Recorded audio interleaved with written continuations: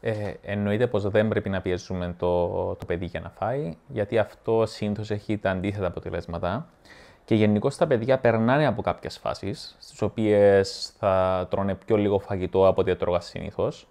Ε, αλλά σαν γονεί δεν πρέπει να χωνόμαστε αν το παιδί δεν είναι άρρωστο ε, και αν μεγαλώνει ε, και αναπτύσσεται σωστά. Εκεί που θα πρέπει να χωθούμε είναι όταν το, το παιδί δεν, ε, δεν θα αναπτύσσεται σωστά, δεν θα ψηλώνει, δεν θα μεγαλώνει. Και ε, εννοείται πως είναι λάθος ακόμα μια τακτική που ακολουθούν πολλοί γονείς, που είναι αυτή της δωροδοκίας. Γιατί το, τα παιδιά είναι έξυπνα και θα χρησιμοποιούν αυτή τη μέθοδο για να παίρνουν πράγματα.